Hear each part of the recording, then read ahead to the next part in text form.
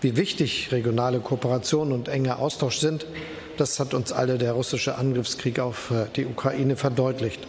Wir müssen etwas dafür tun, dass wir Frieden und Sicherheit in Europa gewährleisten können. Denn der Frieden ist, das zeigt dieser furchtbare Krieg, ja leider keine Selbstverständlichkeit mehr. Ich begrüße sehr, dass Bosnien-Herzegowina sich mit der Ukraine solidarisch gezeigt hat und zeigt und sich auch zu den Sanktionen gegen Russland bekannt hat. Nun hoffen wir, dass auch die nächsten Schritte in diesem Zusammenhang umgesetzt werden können.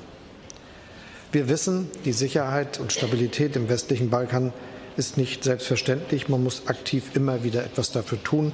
Da spielt Bosnien-Herzegowina eine ganz zentrale Rolle. Jeder Versuch, die Souveränität und die territoriale Integrität des Landes in Frage zu stellen, ist für uns inakzeptabel.